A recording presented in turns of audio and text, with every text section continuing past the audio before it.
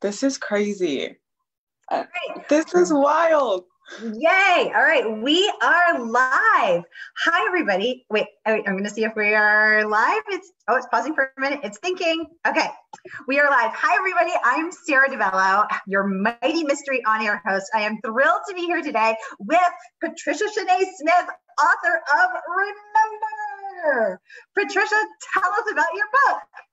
Hi, thanks for having me. Um, my book is called Remember. It's a psychological thriller that tells the story of a young girl who has social anxiety disorder and lost her mother and sister in a tragic car accident. And she grieves with her father by smoking cigarettes and drinking beer all the time. and five years later, she ends up getting arrested for a crime that she does not remember committing. That's all I can say. Ooh, I cannot wait. Um, so thank you so much for telling us about that book. So I would like to share some of the amazing reviews that Patricia has oh, gotten. Um, Smith's empathy for her characters makes for a supremely relatable take on mental illness. Remember, as an emotional roller coaster of a debut, culminating with a twist that will leave you reeling, says Alafair Burke, New York Times bestselling author of The Better Sister. Crime Reads says Patricia Smith's work feels necessary. She's as honest in her writing as she is IRL in real life, and that is very honest indeed. Uh, Kellye Garrett says, remember as a thought provoking character study and intriguing mystery rolled into one, Patricia Shanae Smith is a welcome and much needed addition to the psychological suspense genre. In the search for self in a city filled with many voices, Patricia's Portia is one character you won't forget. Um, Smith's debut her- Smith's debut heralds the entrance of a writing talent to be watched. Its discussion of unreliable memories, ooh, and a toxic father-daughter relationship based on forgetting should please fans of Ottessa Moshfegh's Eileen, and I hope I'm saying that last name right. Um, that is amazing. Every single one of these amazing. Patricia, do you have a favorite review? Oh my god, all of them. Can you just I I need to wake up to what you just said every single morning because that was amazing. Um that's perfect. My, Every day I will text you. Yeah, that's all like, I need. Remember who you are, Queen. This is you. yeah, no, all like I it's a dream come true. What everyone is saying. I never thought that this would happen, that anyone would read my book and actually like it. So I oh can't pick. I love all of them. Oh yeah, I think every author feels that way, right? You're like you put your work out there and you're like, please like me. Yeah. and then you wait and you just bite those nails terrified. Yeah. Um, yes. So many people okay, so so many people are saying con- con- congratulations, Patricia. So excited for this interview. People are saying hi. Tell us where you're from, everybody. Tell us what your questions are for Patricia. She's excited to be here to chat with us today. Wait, I whatever. That's cool. And she's here. And as we've just heard in her review, she is very, very honest, which is how we like it here.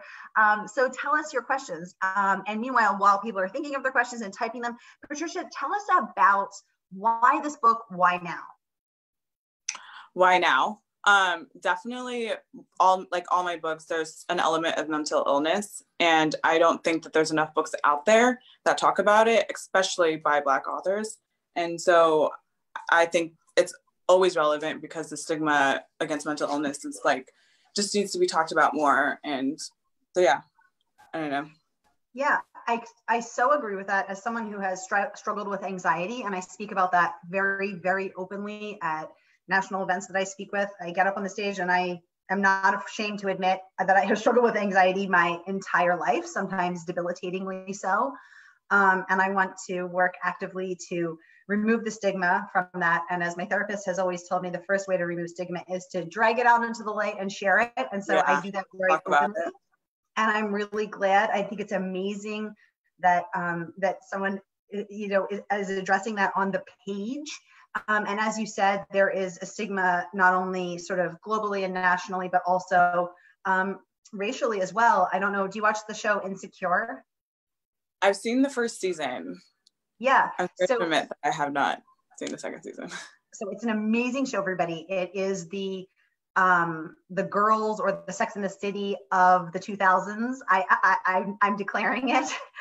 um, and Issa Rae is brilliant, and yeah. um, she plays she plays a character named Issa in the in the um, show, and her best friend Molly. And there's a scene where Molly's walking down the street and she runs into a friend of hers from college, and Molly's like, "How are you, girl?" And she's like, "Oh, I'm great. I'm in therapy." And Molly was like, "Oh my God, are you okay?" And her friend's like yeah, I'm fine. I'm thriving because I'm in therapy. And Molly was like, she was so horrified that she was like embarrassed for her friend to be in therapy. And so later she's telling Issa, oh my God, the girl we know from college is in therapy. And Issa kind of was like, I think it would be a good idea for you to go. And they get into a huge fight. This is the end of season one. And Molly refuses to go to therapy. But then Molly starts going to therapy. And it really oh, awesome. addresses the stigma of going to therapy, especially um, you know, socioeconomically and culturally and just globally. People don't yeah. want to talk about that, but it's so important. And thank you for addressing that. Yeah, I talk about therapy like probably way too much, actually. No, there's no such thing as talking about it too much. Um, and yeah, I just talk about it like it's like drinking water. Like you in therapy? What did your therapist say? Yeah. My therapist said this. Exactly. These are the kind of conversations we need to be having, and thank you for having them on the screen and on the page. We need more of this. Yeah. Um, so how so that so that's how that is something that you wanted to address in this book and this is and you're addressing through this character yeah like speaking up about it because what actually happens in this book is that they don't talk about it and that they don't speak about it and it just gets dragged under the rug to the point where like i don't want to say too much but like crime ends up happening because it didn't get talked about exactly. So I think that's what we need to take from this. That if we do not start talking about it, crimes may start may start happening. Yeah, um, may.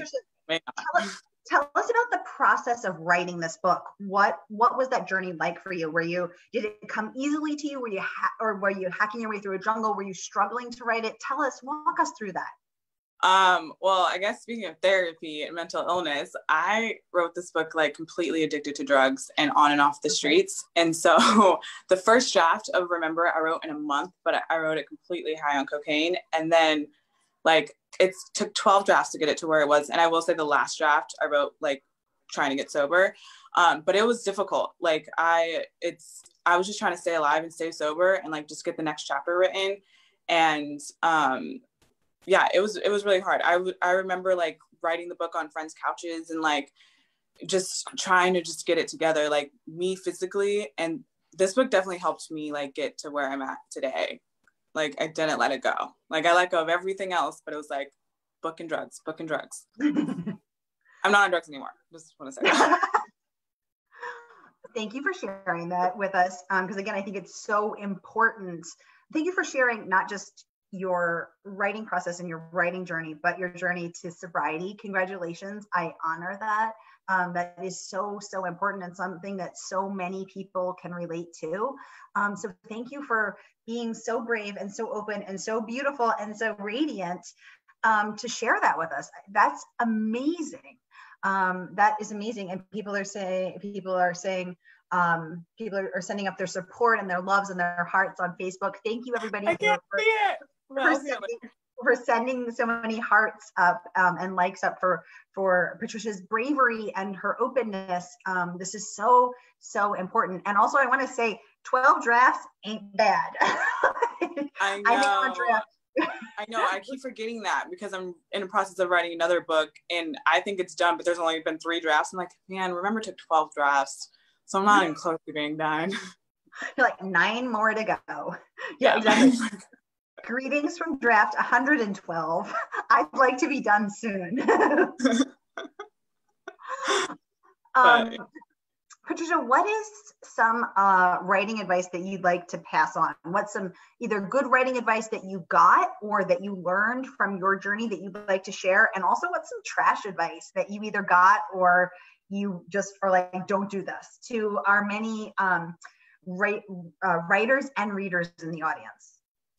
Um, first, I don't think that there's like any bad writing advice. I think what works for some people just doesn't work for others. And I take everything that gets told to me, like I either take it or I don't. Um, but the one writing advice that I guess I will say, the only thing that I've done right, because I've definitely done a lot of things wrong with writing, was I just never stopped. Like I started writing at 10, I'm 28 now, and I just never stopped writing. Half of my work is trash, but I didn't let it stop me. And I think that's what we get in our head like, this book sucks. So I'm not, um, sorry.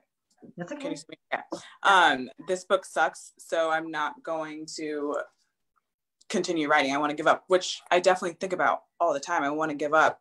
But then I go, okay, that book sucks. So I'll just start on a different one. And then that will suck. And then I'll start. I just never stop writing. Like I love writing. So I'm just going to keep doing it no matter what. And so I guess if you love write, writing, just keep going. Just keep doing it. Who cares if people like it?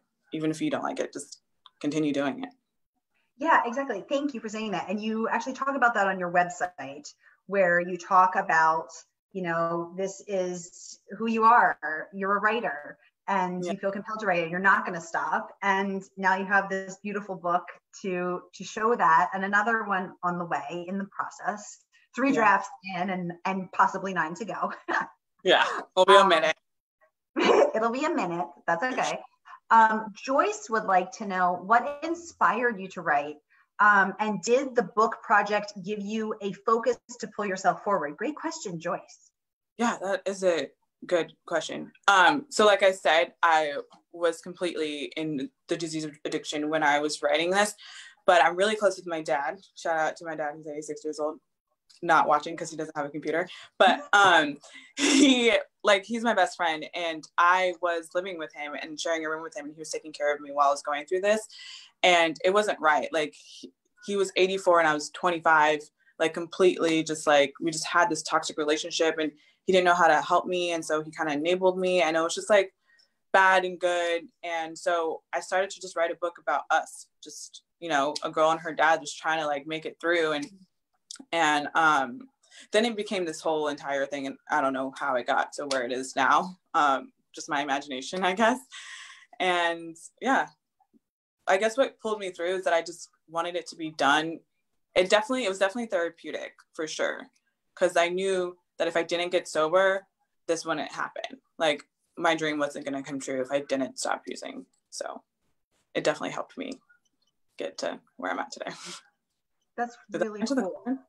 And what was it like for your now 86 year old dad to hold your book in his hands and to see his daughter as a published author? Um, so he is not one for emotions like at all, and he doesn't get mushy. But he did say that like he always knew it was going to happen. Like ever since he saw that my first book at 10 years old. And he, I remember when he first hold it, he was like, oh, this is just like all your other books that he saved, which he shouldn't have saved. They're really bad.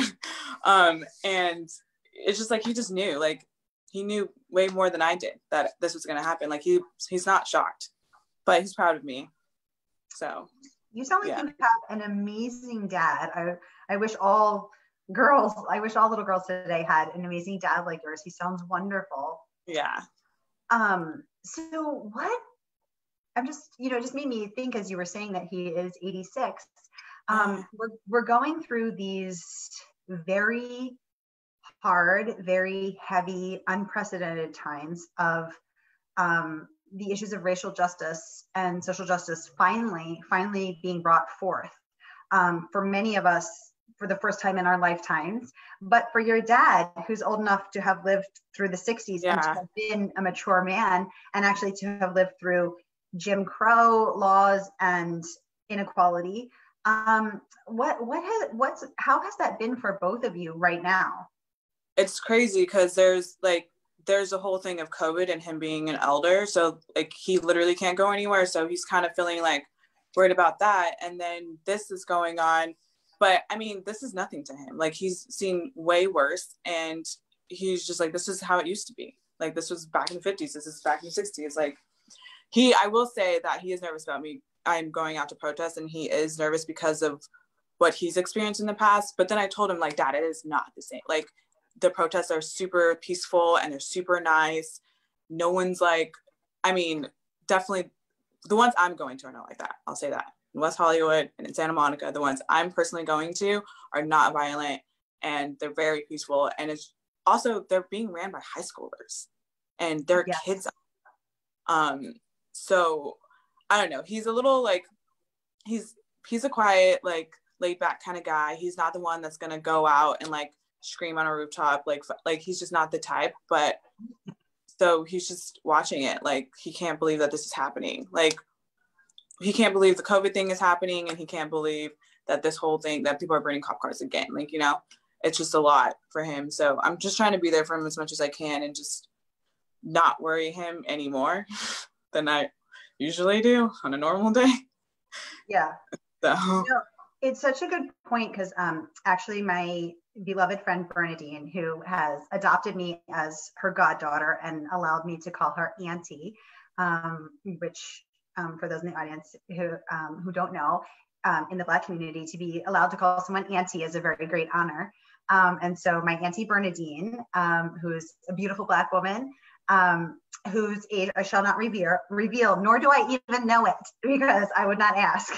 Um, but I have been texting her to check in on her during these tough times. And she said to me, and she's actually writing a book about growing up under Jim Crow. Um, she's from Philadelphia, but her her parents, her her mom moved there from Virginia, so she had roots down south, but grew up in Philly, um, where my entire family is based and so I, as I've been checking on her every day, um, she she's been saying to me that she, it's very hard and she's crying and she's suffering uh, emotionally. And she said, you know, I just don't know if I'm going to see the end of this in my lifetime. And I I hope that I pray that she does, and I'm committed to doing what I can to to to make that happen, to marching and protesting and post, posting and speaking out. Um, but I'm thinking for your dad as well, like they've been through this before. and I really want this to be the end of this for them. Um, yeah. You know, and so for your dad, having grown up under Jim Crow, having seen this all before, been through this in the 60s, and then for you at the age of 28, not yeah. having seen this before, it must mm-hmm. be really interesting for you guys to go through this together. Yeah, it's always been like that. When we, when, because, you know, I've dealt with racial stuff my whole life. And so we always compare and contrast my whole, like, of what it was, what I've went through and what he's gone through. And it's completely it's different. It is like the racism i've i've dealt with is have been completely internal and like not what he's been through. Like it's honestly the racism that i've gone through i didn't even realize that we're racist until probably like the next day or like now. Like i'm like wait she probably shouldn't have said that in high school. Right. You're like wait that was a micro aggression like that was that was not okay. No. you know and so it's it's weird. It's not in my it's not as much as in my face because of where i grew up you know? In so, in la yeah. Well i grew up in redondo beach which is a predominantly white neighborhood. Where but in- i mean i have amazing fr- i have amazing friends. Like my friends like they're all reaching out to me and i'm like dude you never said like you're fine. Like they are apologizing for like laughing at jokes and stuff but i mean we're all just kids. Like we didn't know you know? So i appreciate it and I hope that the next generation of kids are not doing that, you know? Exactly. Did your dad grow up there as well, Patricia? No, my dad's grown up everywhere. He was like born in Tulsa, Oklahoma, lived in Rochester, New York, Missouri. I can't keep up. He had a whole life before I was born. He was retired before I was born. So I always forget that. Your dad sounds super, super cool. Um, this sounds amazing. Andrea says, You are such an inspiration, Patricia. Yay, she is. And your dad sounds amazing too. I would love to hear hear some stories from him and hear his perspective because um, this is really interesting. And we need to have these histories and these oral histories and these written histories of perspectives and um, and you know what he what he's what he's been through. Um, yeah, he's a talker though, so he doesn't really talk too much about it with me, but he'll answer questions, but he won't go on and tell me the whole story. But that's just his personality. well, he sounds fantastic. Um, yeah. And um, did, did do you see these these things playing out on the page, or did were you able to sort of keep it separate, or what's that been like? As far as this book? Yeah, the one that you're working on now. Oh, the one that I'm working on right now. Mm-hmm. Um, oh, it's just been a crazy process. It's like I will tell you, I started writing it right after I went to my conference mm-hmm. and mm-hmm. well, not my conference, writers justice conference. And it's took a year to even get the first draft done. And then I don't know if you can see, but this whole thing is my book, but none of this is actually in the book. Wait, is that your first book? That's Remember no, no, there on the wall? No, no, no, no. This is my second book. Okay, my first book, I know how I got like it. Just I just wrote. I don't out. I'm not an outliner. I'm not a planner. But this one, I decided I should probably outline and plan. But it's still I don't know. I just don't. I don't write like that. Like I kind of yeah. just write and whatever. You, you, you follow them, your muse. Everybody, let's look at Patricia's wall. We're seeing the writers. We're seeing, yeah, let's see your wall. Okay, well, let's see if I can show you without showing you my messy room. Okay. Like, it wow. starts right there. And then it goes this like right so here. cool. Wait, do not see And then this, this is, is a series. Wow. Then, yeah. Oh my gosh. Patricia, this is so cool. Everybody, we are seeing the muse at work. We are seeing the artist in her writer den. We are oh my God art happening. Look at all yeah, of those notes. Look at all the things stretched out. Look at all the post-its. This is so cool. This is really, really awesome. Thank you for showing us, um, for showing us the inner workings. I'm so excited to see your next book. Um, wow. So back to remember, was that yeah. the first title that you thought of? Was that number 100? Was it somewhere in the middle? Did it arrive as a stroke of genius, or did you have to put it up on the wall and work your way through. Tell us about the title and the cover. Um, okay, so interesting story with the title. The title was originally called Dear Dad. And it was originally written, so like I said, it's 12 drafts. The first book was not so much of a the first draft wasn't so much of a mystery thriller, actually. It was more of a young adult relationship with her and her dad. So it's just gonna be an emotional book um, called Dear Dad. But then like then I had a lot of crazy stuff happen in it, and I was like, this is not an emotional like heartwarming book anymore. um, and so I went to I went to dad, the you're canceled. Dear Dad is like, no, this is too soft. Dear Dad is too soft. But I still pitched it actually to Chantelle as Dear Dad. And I actually changed it because it's a weird process on how I got published. But I went to this conference and there was one editor there. I was trying to find an agent, but there was one editor there, but she was only accepting thrillers. I did not think that my Dear Dad Young Adult book was a thriller, but every, I was in a young adult group and they all told me my book was a thriller. I'm like, what? what do you mean it's a thriller? And they were like, yeah, you should do that. Like your book is just, just like do change your pitch up a little bit, which I thought was weird. I'm like, I'm going to change my pitch, but the book is still the book, whatever. So I pitched it to Chantelle as Dear Dad, a psychological thriller that my new friends just told me that it is.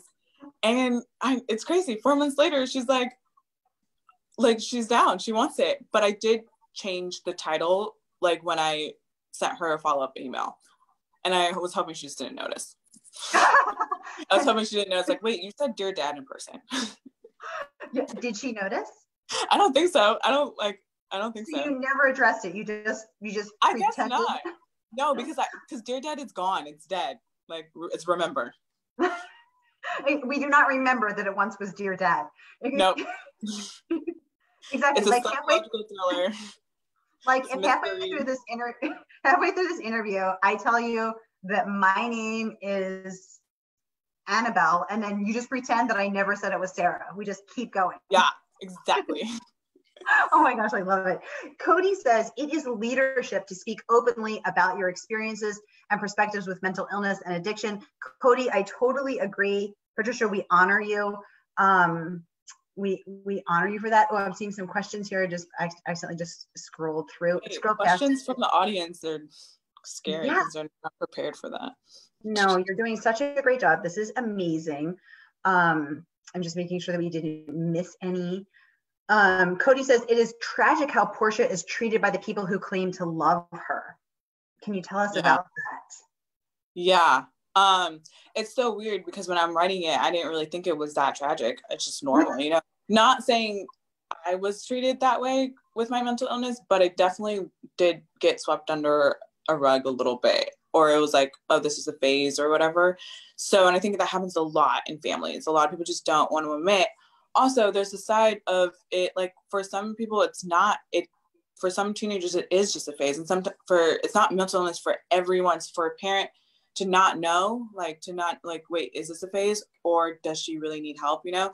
Um, but I, if I can, I'm not a professional by any means, but I will say like, there's nothing wrong with that one therapy session. You know, there's nothing wrong with that.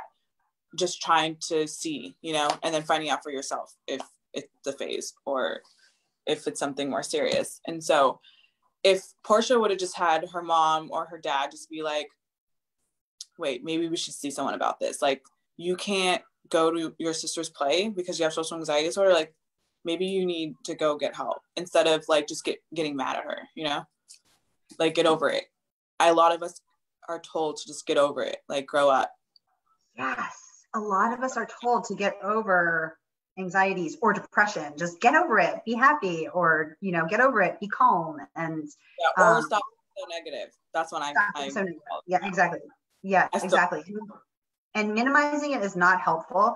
Um, on that note i actually want to say i am blessed to have three incredibly beautiful women of color um, therapist friends friends who happen to be mental health professional, professionals so I will link them in the comments, but it is Dr. Pilar Tucker. I actually just did an hour and a half um, Zoom this morning with her. We're coming up with some amazing content um, for her. Um, Dr. Samia Dave, she's a psychiatrist. Um, and um, Jenny, Be My Therapist, is her handle on Instagram. Jenny, my friend in Philadelphia, another mental health professional. All three are women of color. All three are amazing therapists. All three are very, very good friends of mine. Um, and so all people, I recommend everyone follow them um, because we need to be talking more about mental health. And here's three really radiant, light-filled um, sources of uh, information for everybody who wants to talk about it to start with. Um, we have another question from that we actually have two. Um, Leah says, I love hearing the stories behind your titles, Patricia, amazing. Um, and someone would like to know more about your writing group. Yeah, let's hear more about this writing group. This writing group that said to you, "Girl, you're not, you're writing a thriller, not a not a dear dad." Um, oh, okay. okay Tell us. Um, so it was the Writers Digest conference 2018, August 2019. I'll never forget it. It's changed my life. Um, it was August 9th. um, I was going to New York for the very, very first time, and there was a Facebook group, and I think I posted on Facebook group, I've never been to New York before. I'm scared. What like is there something I should do? And then like, what do you write? I'm like, I write young adult. And um, there was this young adult group. This is in the Facebook group of the conference attendees. Yes. Okay. Yes. So, so this you post randomly, not knowing anybody, having never been to New York. You post in the group of attendees. And could you say one more time the name of the conference, Patricia? Writers Digest. Writers Digest conference. Okay, so you post, and then three random people and people people randomly that you've never met start replying. Yes. So most of them were tips of what to do in New York. Um, or maybe it was another group. I hope they're watching right now and probably can like be like, no, this didn't happen like this. It happened like this. and so, and that's not remember, right? Everyone remembers differently. As you know um, your book. Yeah. And so basically there was a group, the point is that there was a young adult group within the Writers Digest, and we wanted to meet up there. And it was interesting because we all wrote young adult, but different genres. Like there was young adult fantasy, there was young adult like sci-fi, all of it. And um, I was young adult crime. And so we practiced our, I was just trying to get an agent. And so we just practiced our pitches with each other. And my pitch sucked. they didn't tell me that, but their faces did. Wait, let's see the face. Can you reenact it? Was it like?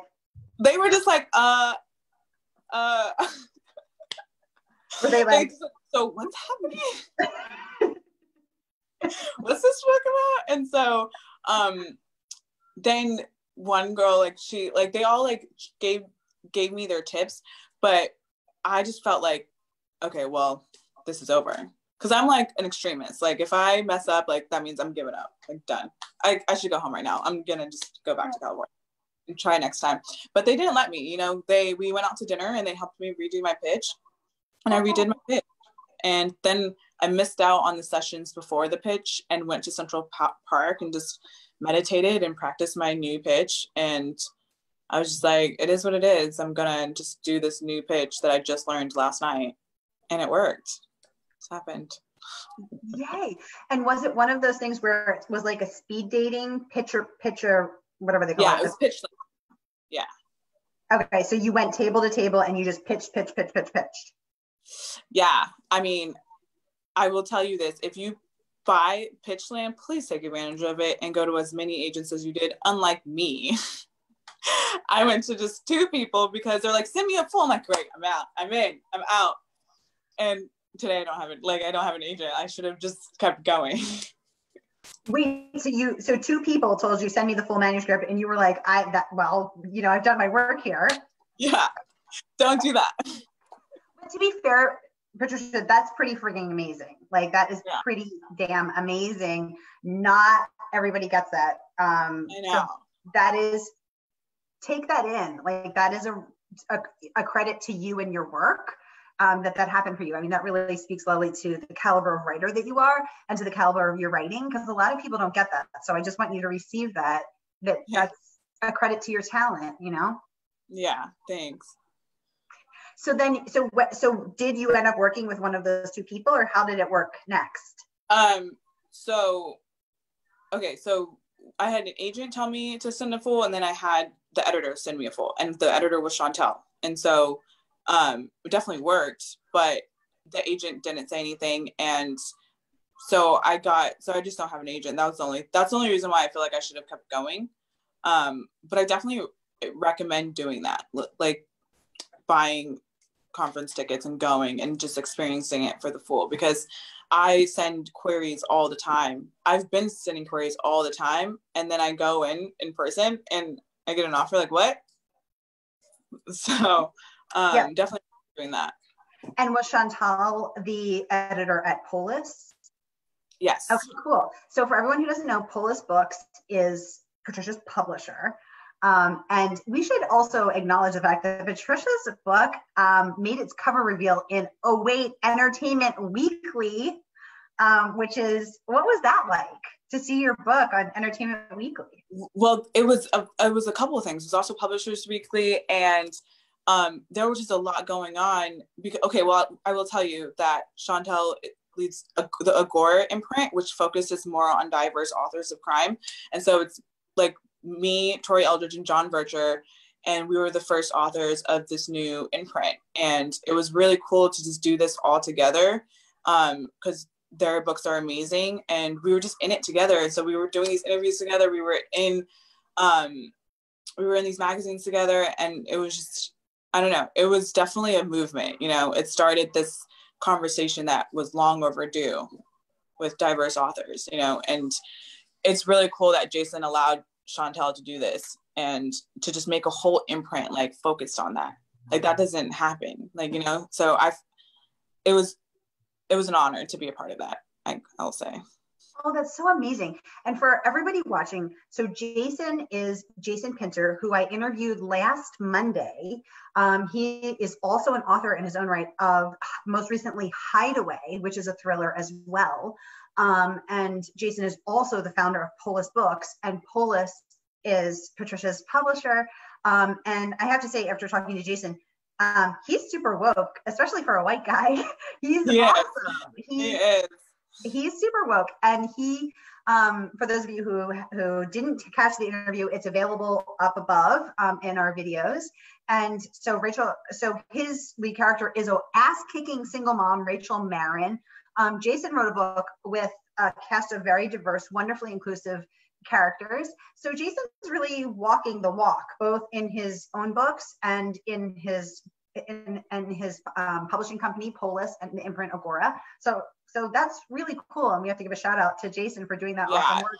And for to Patricia and um and and for taking that risk and, and doing that. And it's really cool to see. Yeah. So I'll, on that note, I'll piggyback, right? It's interesting because a lot of um, businesses that are now supporting like um, more diverse people, they're getting slack because they weren't doing it before. And like they're like oh now you want to put a black girl up or now you want to talk like well like they're, they're putting up the hashtags that never hired a black model before or like they're just getting slack for it but it's jason was on top of it. He's been on top of it. He's like these others are already published. Like we got it. Yeah so exactly. i thought that was cool. That is super cool. And i have to say i'm I totally hear what you're saying, and I agree with you. Um, because on one hand, I'm so happy to see the attention and the the new attention and the and people finally uh, getting woke and getting on board. At the same time, having myself tried to be woke for you know walking the woke walk for a good number of years i'm like what the hell took you guys so long like thanks for catching yeah up. yeah um, that, that was what i was thinking yeah yeah it's frustrating right? Because it's like uh hello. I you know i've been supporting black authors and doing buying from black owned black owned businesses and you know doing giveaways for black authors and i wasn't hashtagging it you know support black authors or support black businesses. I was what to do. yeah. i was voting with my wallet and i was just getting it done. Um, yeah. and so it feels a little it's on one hand i'm grateful and i'm glad that the conversation is happening. On the other hand i'm like why what the hell took you so long? And it's crazy yeah. you know? So i'm imagining that as a black author it feels even more that way for you. Yeah i mean it's don't get me wrong like this whole thing i have like a range of emotions. Like i'm super happy that the change is happening and that all this is going on and that so many people like the other day there's 50k people like literally right up the street supporting this. And it's amazing but then then i get sad like then i get angry it was like well why didn't we do this before like george floyd is not the first black person to die like you know what i mean and then then i get like sad because like got, these people had to die for this and so I mean, I don't know. It's bittersweet. It's it's amazing, but overall, it's amazing changes happening. And I I just hope I'll say this. I just hope that it keeps going when people go back to work and people aren't bored because they don't have stagecoach and Coachella and they have other things to do. I just hope they don't forget about us. I guess. I, say frankly, I probably shouldn't have said it that way. I obviously cannot speak for for all white people or for our whole culture, but I I can say that from my perspective, I don't think that anyone will forget about this. I think once the veil is lifted and once your eyes are opened, I I don't I cannot imagine that anyone could go back to being unwoke. like I can't imagine that anyone would go back to their previously sleepy state. Um, once you're aware, you can't forget what what is going on and what is happening yeah. and and the call to be part of it. So I think this is just the awakening, and I think we all need to be doing our part to keep it going but i i really i can't imagine that we wouldn't yeah so patricia for this book have you ever um, imagined it on either the big screen or a netflix series? Uh yeah. So it's interesting. I i feel like i shouldn't admit this but when i write books i imagine the scene. And i imagine the characters. I imagine it on television. Um, and so I definitely see it on screen, but I don't know if I, I, I see it like in a movie theater. I see it as like an indie film, like maybe Sundance or, I mean, I guess I can see it as a series, but, th- but if it's a series, like that's more opportunity for them to mess it up. yeah, exactly. It's a movie, and best believe I'm going to be involved. Just saying. Yeah, good. Absolutely. You Especially should be. with mental illness, like it could go so wrong on yeah, television. Exactly. So exactly. I definitely want to like make sure it doesn't do that and it doesn't make it worse, you know? Absolutely. And I appreciate that responsibility and that that ownership that you feel for it in protecting the story. I totally get that. Yeah. Have you cast it in your head? Who would play? Oh, for sure. Tell us all the things. Um, Zoe Kravitz is going to be Portia. Oh my god, I love her. I can totally see it. Um, I wanted Morgan Freeman to be my dad, but I think he's too old for my dad. No, he's not. He's not too old. He's perfect. Well, I guess if it's real life, he's definitely not too old because if it's like if it's the same age difference of me and my dad, then it works perfectly. But the I mean, Portia's not me. Like that's just like a- I think I just love Morgan Freeman so much. I need him to be in all the movies. I mean, he's been the voice of God. That man is God. Yeah. He can do anything. I think he's like a, a great Richard Willows. exactly, exactly. Oh my gosh. Um, what is your favorite scene from the book? Ooh, uh, my, I guess my favorite scene from the book would be the the it's in the beginning, so I'm not giving away anything. Um, when she first hangs out with her love interest, interest Ethan, and they she Ethan takes her to the UCLA bookstore, and she has social anxiety disorder. So um, when she walks in and she immediately wants to turn around, but then Ethan stops her. I will tell you a secret. Um, that was inspired by the scene in A Walk to Remember because I'm a diehard hopeless romantic. also, I just love writing romantic scenes that never happened to me in real life. exactly. So everybody out there, take note of what yes. Patricia's ideal date would be. It involves a bookstore and a secret. Get it right. Remember, um, everybody needs to remember that. yeah so any of the like little tiny romantic like things that they do or how ethan talks to her or like how she just feels so comfortable with him that's those are my favorite scenes to write because they don't they don't take much you know they're just like they just add to the story exactly. and it's just like it's just me yeah I, yeah I'll, I'll stop no i love it this is so awesome um i you know it's crazy i just saw i just saw the time the clock at the bottom of my computer. We've been talking for 42 minutes. I can't believe it. It seems like two minutes, um, yeah. but I do want to be mindful of the time. And so let's, oh, we're getting hearts, hearts up from the audience. Thank you guys for the hearts. Um, let's enter the lightning round. Patricia, are you ready? Oh God, yeah. Okay. Are you a morning or afternoon writer? Afternoon. Do you prefer chocolate or vanilla? Vanilla. I like chocolate. now, um, uh, my next question is beach or mountains, but I already already stalked your Instagram. I know what it is, but for the people at home, beach or mountains? Are you reading in your ideal location, beach or mountains? Wait, mountains. But what do you think it was? Uh, all those bikini shots on the beach. okay, I knew you were gonna think that, but no, I just live on the beach. I just live near the beach. Oh my god, I'm so jealous that you live at the beach. That's amazing. I because I was looking. Everybody go, everybody go follow Patricia on Instagram. Go follow her on Twitter. We're um we're dropping the links below. But um, Patricia has beautiful. I love the beach. Don't get me wrong, but I I'm, I would love to just go to the mountains. Okay, this is good to know. I'm glad I asked because I almost skipped it because I'm like, she loves the beach. Look at her Instagram. I do. I have mountains tattooed on me. I did not know that. Okay, cool. See, I'm so glad I asked.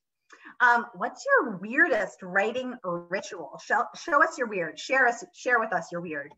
Okay, so interesting. I was talking to a friend about this, and I thought that the weirdest thing I do is watch TV while I write. And he's like, um, it's definitely like that you write on your walls. so um, I don't know. What is weird to you guys? I think it depends. Um, I think it's weird to watch TV because usually, like, your mind can't be at two different things, but it can. It can. Well, Sara Sligar t- uh, told, uh, told us a couple weeks ago that she writes listening to ABBA while writes her mysteries and thrillers while listening to ABBA and also blasting coffee shop noise from her computer so she could pretend she's a, at a coffee shop while still quarantined at home. that is so cool. I also listen to heavy metal, but I don't think that's weird. That's just okay. facts. well, that actually was my question. Is, is, is, the soundtrack to your book? Okay, good to know. Heavy metal did not see that coming. but I guess after ABBA and Sarah yeah, I have my I have my bands. oh my gosh! I wow. Okay, cool. Um, truth or dare? Dare. Woo. Okay, good. Dog or cat? Dog. Who's a writer you're dying to meet? Susanna Kaysen. Okay, cool. Wait, I think you're I think you froze for one second. Can you tell us again? Susanna Kaysen. Susanna Kaysen. Okay, cool. Um, what's your favorite movie? The Notebook. Oh my gosh, that's one of my favorite movies too. Oh, where I've seen it so many times where he's like, where the I, my favorite scene is where they're, they're having the fight scene out, out, out yeah. so there's a tic, there's a TikTok version. Oh, there is what? Okay, you've just changed my life. I need to go check this out. Where he's yeah. like, we're gonna fight. We're gonna keep fighting. Yeah. You, you, you tell me when I'm being arrogant and I'm a bitch, and I'm gonna tell you when you're being a pain in the ass, which you are 99% of the time. Exactly. And then you have like three second rebound rate, and then you run through the next pain in the ass thing. It's yeah, gonna be amazing. hard. Look, I have it right here. I'll show you. Oh my gosh. and then they kiss. Yes. Oh my God. It's my favorite scene too. I feel like we could do exactly. We could just quote the lines back and forth to each other. yeah. I got my husband a, a coffee mug that says I speak fluent movie quotes. And like yeah, if you're a bird, I'm a bird. Exactly. If you're a bird, I'm a bird. Oh my gosh, totally. Oh, I love this so much. Okay, cool.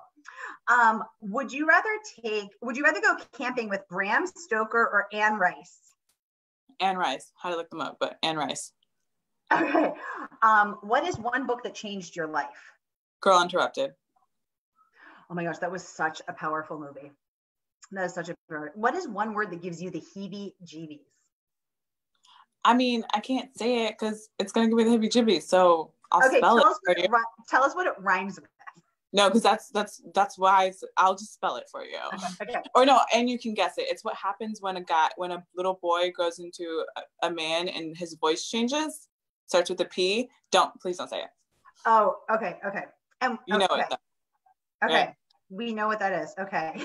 and we will and we will never say it. A lot of people say moist, and moist doesn't bother me because it reminds me of like moist chocolate cake, moist chocolate. I mean, cookies. it's like it's not the greatest word. I have a lot of words I just don't like. yeah, I have. but that okay. one that I just told you about, like, I like it hurts. It hurts my body. Interesting. Is it the sound of it or what it stands for? Yeah, it's no, just the sound of it. Like the first. So I hope I'm gonna have like if I have a son, we're just gonna have to, and he goes through that. We're just not gonna be talking about it. Yeah, we're not talking about it. What's happening to me, mom? Zip it. Zip it. oh, it's this thing that we cannot say. oh my god. Okay. So, um, okay, Patricia. Last question. Tell me who would you rather be stuck in Area 54 with? And for the audience, Area 54 is a super scary um, part of New Mexico where a lot of alien activity has happened. Um, the, supposedly the government has like, you know, roped off with barbed wire fences, place where aliens and spacecraft have crashed, and there's a lot of crazy shit happening on happening in Area 54. So, Patricia, would you rather be stuck overnight in Area 54 with Stephen King, the Horror King, or H.P. Lovecraft? Stephen King, but a Stephen King because he's amazing, but also because I have no idea who H.P. Lovecraft is. I have to admit, I Googled scariest thriller writers and then I just wrote them down. I have never read H.P. Lovecraft for myself either. True confession. It sounds like it's a per- it's a thing, not even a person. exactly. I feel like Stephen King is a good choice because a while you're not sleeping, because let's be honest, you ain't getting no sleep in Area 54. Like you're not closing your eyes. Yeah. You're not going to get your eight hours. You're not going to hit REM five. You're going to be like up all night. Yeah terrified. You could pick his brain. You could like talk about yeah. Or we and can just write a book together. Oh my god, you could write a book together. And also, if there is an alien, Stephen King is probably going to know the zombie kill shot. Yeah, or know what to do. Right. Or he'll just help me calm down. right, we're getting laughter. We're getting laughter from the audience. They're saying we love Stephen King so much. Oh my god, amazing. Patricia, it has been such a joy talking with you. Everybody, thank you so much for joining us online. Um, we cannot wait to read your book. We're so excited, and we can't read, wait to read book number two. So get back to those walls, marking them up. We need yeah. you to write yeah. your heart out. Um, I'm pulling up my copy too. Um, it has been so so cool talking with you. Remember, um, out now. Grab a copy through our special partnership with Bookshop.org, which supports indie bookstores. We love indie bookstores, so buy Remember through the link below. Patricia, thank you so much. Everybody. Thank you so much for having me. This was so much fun. I was so nervous for you're so cool. Oh, oh my gosh. Thank you so much. High praise from you, Queen. Thank you so much. Rena says, Hi, ladies. Hi, Rena. Good to have you. Um, thank you so, so much. And everybody, we will see you next time. Um, Rena says, We will remember. Yeah, Rena, we are on board with that. Um, and everybody, be sure to follow Patricia, check her out, and we cannot wait to see um, we can't wait to see where you go, girl. You're amazing. Thank you so much. okay,